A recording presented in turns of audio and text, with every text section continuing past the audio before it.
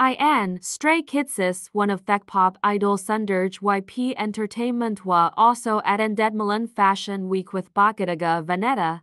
Present at Bottega Veneta Summer 2025 Milan Fashion Week with casual outfits, Stray Kids IN Charm successfully became the spotlight. In an interview with Marie Claire, the maknae of JYP Entertainment's pop idol, IN Stray Kids, expressed his feelings while attending Milan Fashion Week with Bottega Veneta, as quoted from the Instagram social media account Marie Claire Korea on Sunday, September 22nd.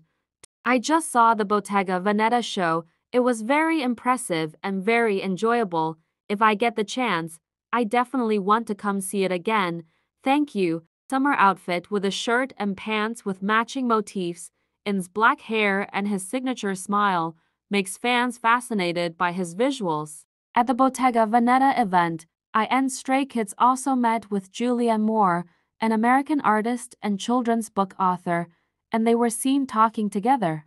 As he was about to leave the Bottega Veneta event, many fans shouted IN's name and several cameras kept focusing on maknae on top Stray Kids, IN Stray Kids' presence made his name a trending topic on social media.